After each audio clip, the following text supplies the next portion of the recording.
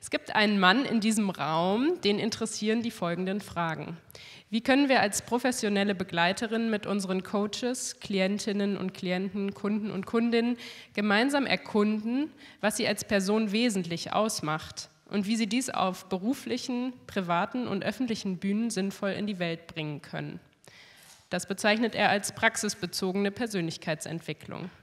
Wie können dabei Körper, Zeit und Raum eine angemessene Rolle bekommen? Hier ist der Fokus bei Inszenierungen und Aufstellungsformaten. Wie können wir gemeinsam ein Bewusstsein entwickeln und leben, das uns, den Mitmenschen heute und morgen, der lebenden und unbelebten Natur als Einheit begreift und entsprechend handeln? Das äh, bezeichnet er als Bewusstseins- und Nachhaltigkeitserforschung. Ich freue mich, Wolfram Jokisch, Lehrtrainer am ISB, auf die Bühne zu bitten.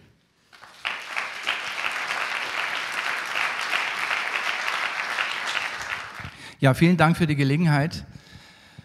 Äh, ja, es ist ungewohnt für mich hier. Also ich bin eher so auf der Kleinkunstbühne sonst unterwegs. Das ist für mich schon relativ groß. Ähm, aber ich habe mir das erleichtert, so wie ich das immer mache. Und das passt aus meiner Sicht bereits zu diesem Thema, äh, das wir hier haben. Also wie passiert Dialog? Und wer dialogisiert mit wem eigentlich?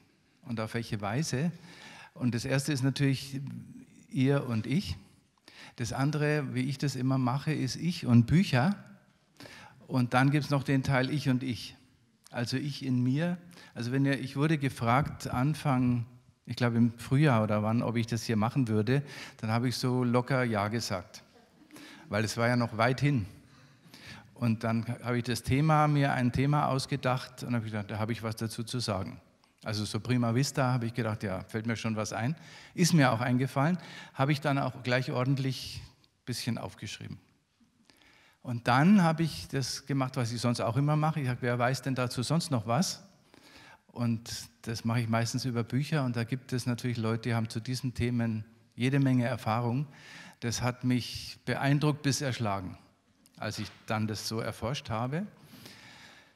Ähm, und wenn ihr wüsstet, wie viele Dialoge ich mit euch schon geführt habe in diesem halben Jahr, äh, meistens so als alternder Mensch zwischen 3 Uhr morgens und 5 Uhr morgens, äh, das könnt ihr euch gar nicht vorstellen. Und was es gebracht hat, ist auf jeden Fall, mich intensiv mit diesen Themen zu befassen, mit, das ich nicht gemacht hätte ohne den Anlass. Dann habe ich mich gerettet in einer Art, wer immer bei mir schon im Seminar war, ähm, was ich dort immer mache, bevor ich selber was erzähle, ist, dass ich die, die da sind, bitte, sich dazu selber Gedanken zu machen. Und zwar fast immer zu zweit. Ich bin totaler Fan von Zweiergruppen, weil na, da immer aus meiner Sicht das Wesentliche passiert. Das hätte ich hier auch gerne gemacht, natürlich, aber in einer Viertelstunde na, ein bisschen knapp. Habe ich mir gespart. Aber das, was ich in den Zweiergruppen immer mache, habe ich hier auch gemacht, nämlich mir Fragen auszudenken die ich stellen würde und mit denen die zwei sich dann beschäftigen und so, die findet ihr auf dem Blatt, was ihr habt. Einige, viele, viele, viele Fragen. Deswegen heißt meine erste Perspektive zu diesem Thema auch, am Anfang, am Anfang stehen Fragen, in der Mitte stehen Fragen und am Ende wieder Fragen, weil ich finde, das ist eine der Hauptkompetenzen, die wir als Begleiterinnen und Begleiter von unterschiedlichen Prozessen haben, relevante Fragen zu stellen. Und ich habe mir jetzt ja naiverweise gedacht, naja, wenn ihr so etwas in die Hand kriegt, dann macht ihr das so wie ich, ihr guckt gleich mal, was da ist. Und dann hättet ihr euch theoretisch mit diesen Fragen schon ein bisschen beschäftigt.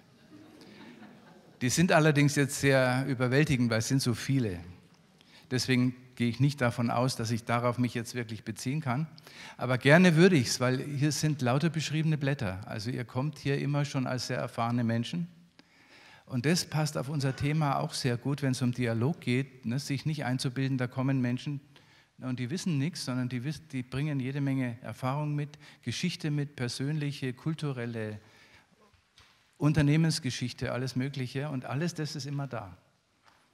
Und sich dafür zu interessieren, das rauszufinden, finde ich sehr lohnend. Dann habe ich mich noch auf eine andere Weise gerettet, was ich immer tue auch. Ähm, ich habe mich ja erfolgreich gewehrt sozusagen gegen äh, digitalisiertes Vorstellen. Mhm. äh, und habe alles das, was mir eingefallen ist, das heißt alles nicht, sondern Verdichtung von dem, was mir im Laufe dieses halben Jahres eingefallen ist, habe ich aufgeschrieben. Und das habt ihr alle schon in der Hand. So, das heißt, ich kann ganz beruhigt, was immer, ich kann hier was erzählen, ein paar Betonungen machen, die von dem, was da steht, aber vielleicht auch das eine oder andere, was da nicht steht. Und ihr könnt euren Stift gerade verwenden, einfach um irgendwo was anzuzeichnen, aber ihr braucht nichts mitzuschreiben. Weil ihr könnt es anschließend nachlesen, zum Beispiel in Ruhe.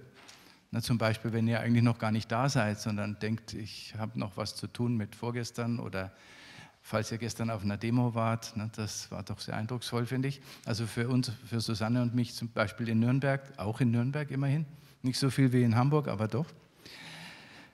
Ja, und ich habe äh, die Überschrift etwas verändert, weil erst habe ich ja gedacht, ich könnte einfach was erzählen zu ne, diesem Spezialgebiet von Dilemmata und wie geht es mit Paradoxa und Oxymoron, Oxymora, also was gar nicht, gar nicht, gar nicht geht. Ähm, und dann habe ich gedacht, ja, aber das Thema, das ist ja viel weiter. Äh, und dann wusste ich auch nicht, dass du da was erzählen würdest dazu. Also hätte ich mir denken können, habe ich aber nicht. Dann habe ich gedacht, ja, ich muss ja zu dem ganzen Thema mir Gedanken machen und dann hat sich das ausgeweitet. Ähm, und etwas, was ich kann allerdings, ist, wenn Leute, äh, wenn das sich sehr ausweitet, ich kann das dann irgendwann wieder verdichten. Also ich bin eher ein Verdichter ne, als jemand, dem selber was einfällt. Aber was anderen Leuten einfällt, kann ich gut auf, eine, auf einen Punkt bringen meistens. Und das habe ich gemacht, auf dem, was ihr da lesen könnt. Und davon mache ich jetzt wieder noch ein paar Verdichtungen. Ähm, ich, hatte, na, ich bin ein Fan von Fragen, habe ich gelesen in diesem Programm. Da stehen ja auch Fragen. Und über eine bin ich gestolpert, ne, die hieß, gibt es kulturelle Geheimrezepte in Unternehmen im Blick auf gelingende Kommunikation sowie erfolgreiche Konfliktbewältigung? Und dann habe ich gedacht, ja logisch, gibt es da. Als nächstes fiel mir ein, aber nicht mehr geheim. Also die sind längst bekannt und die sind so einfach, ne, dass sie alle kennen nur oft nicht machen.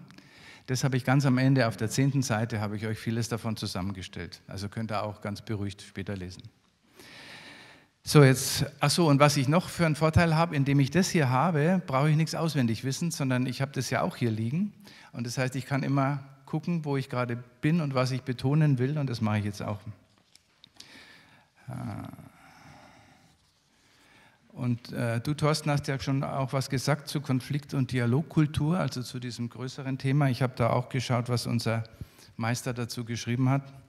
Und erstmal, was Organisationskultur ist, äh, fand ich nochmal interessant. Das heißt, er schreibt er gelebte Antworten auf Fragen der Leistungserbringung und der Lebensqualität der beteiligten Menschen in informellen und formellen Bereichen des Zusammenwirkens, der Begriff Kultur kann dabei beschreibend und wertsetzend verwendet werden. Die Unterscheidung finde ich auch ganz wichtig. Ne? Reden wir über Werte, die wir damit meinen, oder reden wir über etwas, was dort faktisch passiert und wie hängt es zusammen?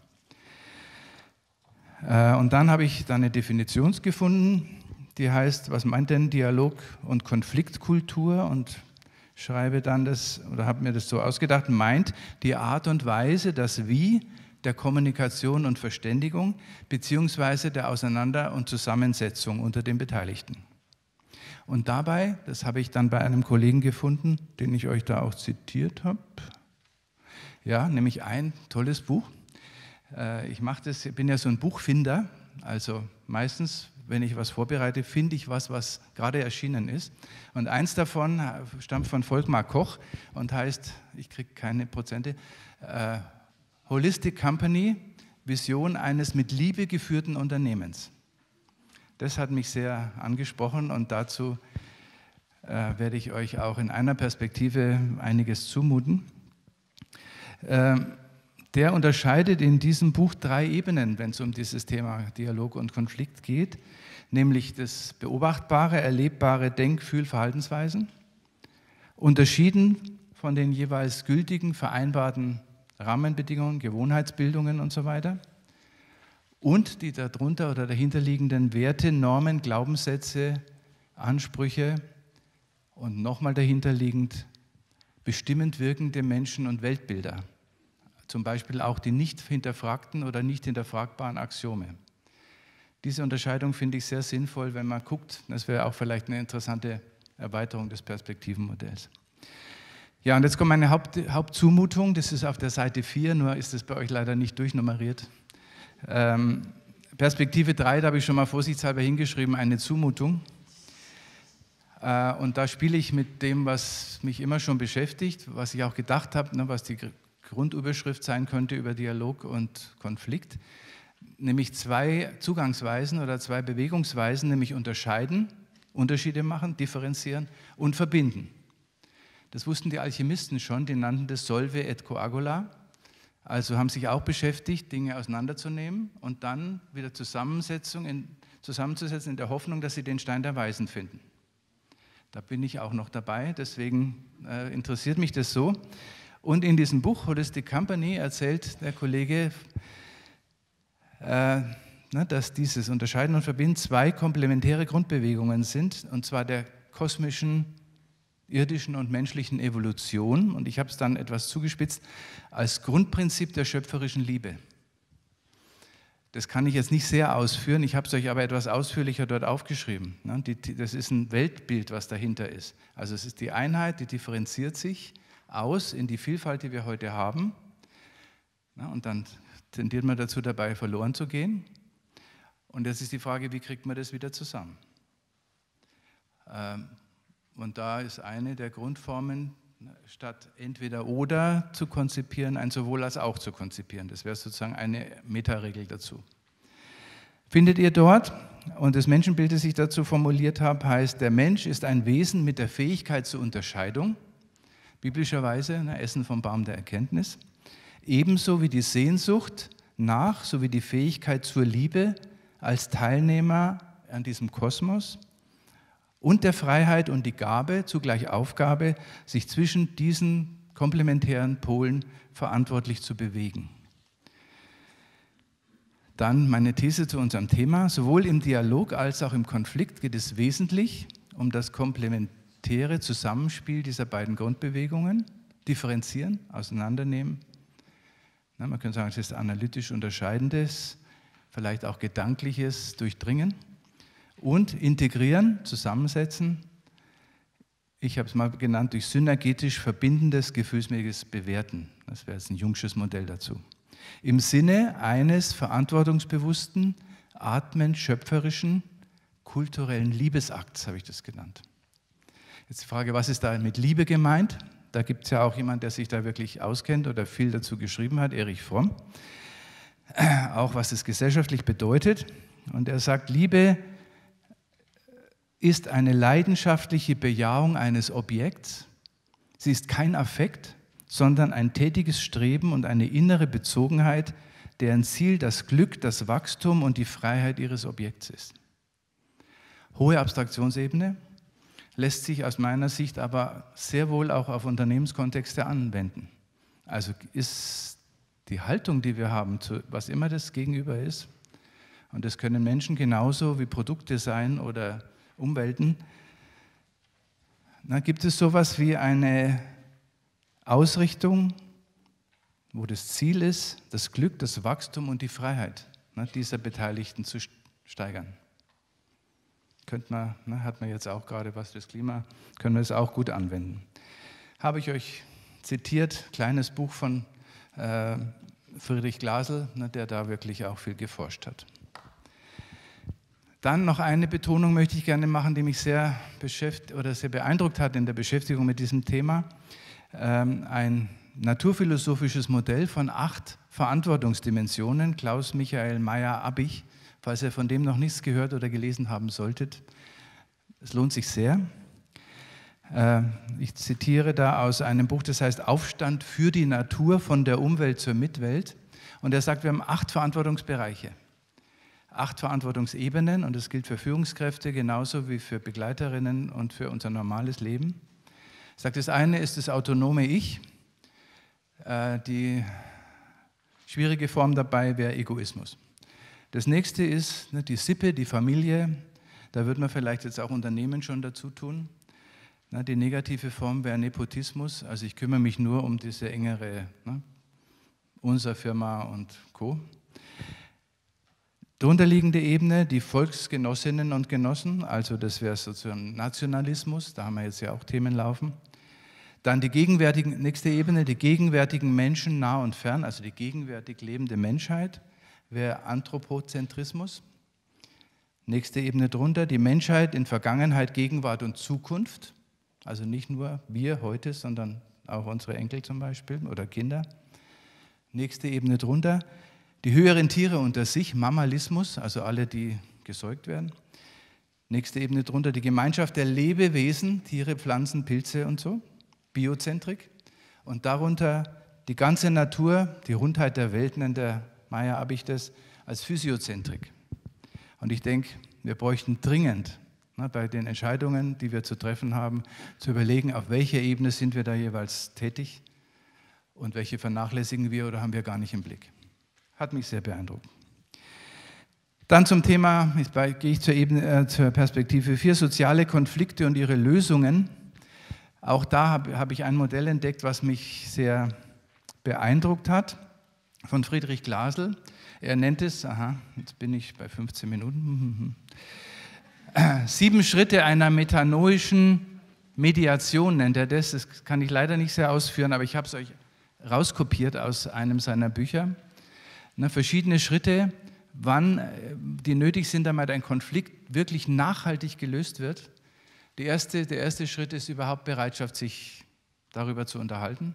Zweiter Schritt ist, sich kognitiv auseinanderzusetzen über die Unterschiede und die sich auch gegenseitig zu erzählen, solange bis man sich gegenseitig versteht, ohne dem zuzustimmen. Nächste Ebene wäre die emotionale, also auch einzubeziehen die ganzen Verletzungen, die damit verbunden sind und auch die sich zur Verfügung zu stellen. Und der letzte, der wesentliche Schritt, er nennt es den tiefsten Wendepunkt, ne, wäre das Aufspüren und Anerkenntnis der Bedürfnisse aller Beteiligten als gleichwertig. Und von dort her könnte es dann wieder in konstruktive Konfliktlösungen gehen.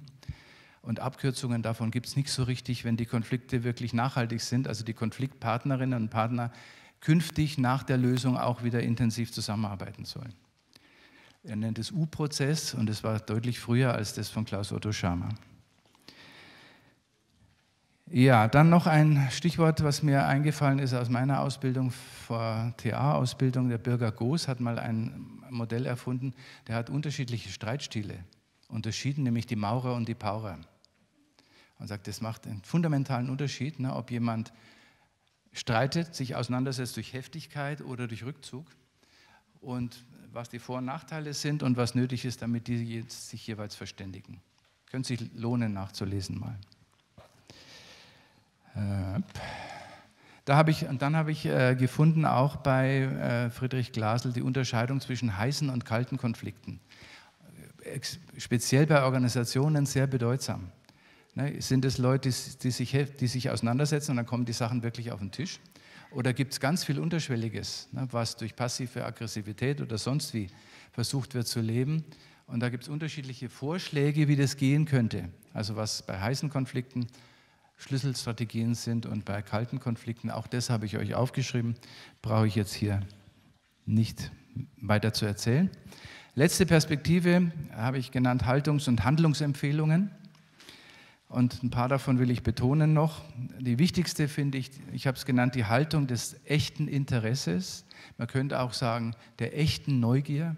Ich möchte wirklich wissen, und das gilt für den Dialog und für den Konflikt nochmal in gesteigerter Form. Ich möchte wirklich wissen und nicht ich weiß schon, was du denkst, was deine, eure Sicht der Dinge ist als Partnerinnen, Partner gegen Gegner. Und je heftiger das ist, desto mehr sich die Zeit zu nehmen, sich wirklich zu interessieren und nicht meine Vorteile weiter zu pflegen. Martin Buber hat sich dazu viel Gedanken gemacht und wir werden hier, glaube ich, einen Workshop auch haben zu David Bohm, äh, Dialog. Äh, äh, oder na, da könntet ihr euch das nochmal genauer angucken. Der hat sich das na, aus dem universitären Bereich kommend auch ausgedacht. Dann habe ich eine Formulierung, die heißt Unterschiede wahrnehmen als potenzielle Bereicherung. Ich weiß, dass es sehr naiv formuliert ist erstmal und trotzdem hat, finde ich, hat es eine Perspektive. Wann immer ich einen Unterschied merke, gehe ich sofort in, ah, das, was hat das mit mir zu tun und wie Äh, gefährdet es mich oder wie könnte das denn eine bereichernde Perspektive sein zu denen, die ich schon habe? Vorletztes, Gegensätze achtsam umspielen, habe ich das genannt. Also bei Gegensätzen geht es oft nicht da, also weder um Konfrontation noch um Friede, Freude, Eierkuchen, sondern es braucht eine etwas leichtere, spielerische Art und Weise, damit umzugehen. Und eine körperliche Form dafür ist die liegende Acht, ne, die zu inszenieren, ne, sei es selber mit der eigenen Hand oder sei es inszenierterweise in Aufstellungen, ist da oft sehr hilfreich. Dann das Stichwort Metakommunikation, für mich auch eine zentrale äh, Empfehlung, ne, wann immer es schwierig wird, ne, wenn es irgend geht, lasst uns äh, loslassen, worum es gerade geht, die Sachebene oder sonst wie, und lasst uns auf einer anderen Ebene reden, wie wir gerade miteinander reden und ob wir nicht eine Form finden können, die das leichter macht. So. Ja, und was die Organisation betrifft, ne, durch, ich habe ge, hab geschrieben, gedachte statt gewohnheitsmäßige Rahmensetzungen in Zeit und Raum, damit ebenbürtige Begegnung möglich wird. Das hat wirklich oft ganz räumlich, wo treffen wir uns? Nach Möglichkeit am dritten Ort, wenn es besonders schwierig ist schon. Und haben wir wirklich auch einen Zeitrahmen, der so gesetzt ist, dass das, was wir zu lösen haben oder zu besprechen haben, eine Chance hat, dass es in erkundender Weise äh, dass wir erkunden können, statt uns gegenseitig unsere Meinungen zu erzählen. Talk, Show. Dann habe ich zwei Dinge noch, einen Text, den würde ich euch gerne vorlesen, und eine Leseempfehlung, nämlich fiel mir dann na, vor 14 Tagen ein weiteres Buch zu, das ich jetzt fast durch habe und das sehr genial ist, deswegen habe ich es euch schon mal unten, ganz unten hingeschrieben, von Fritz Reheis, die Resonanzstrategie, warum wir Nachhaltigkeit neu denken müssen. Sehr intellektuell, sehr herausfordernd, aber sehr lohnend. Habt ihr dort als Literaturangabe. Zum Schluss, ich habe einen Text gefunden äh, von Laoze. Da geht es jetzt nochmal um das Thema Liebe. Deswegen möchte ich euch das nochmal zumuten.